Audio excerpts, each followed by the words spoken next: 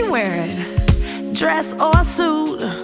Either way, that power looks so good on you.